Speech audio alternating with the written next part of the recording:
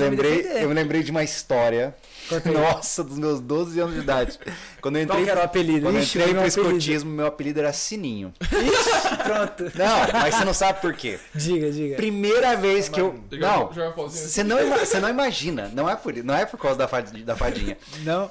Olha só, essa, essa se, o, se o meu chefe da época estiver me assistindo, Paulo Satira, um abraço, ele vai estar rindo muito agora.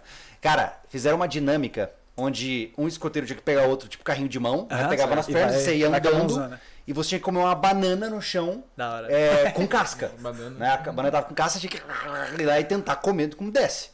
E eu falei, ah, vamos brincar, né? Eu fui lá a primeira vez, né? E aí eu fui. Só que eu não sabia que meus, so- meus shorts tinham furo. Não. Ai, ficou.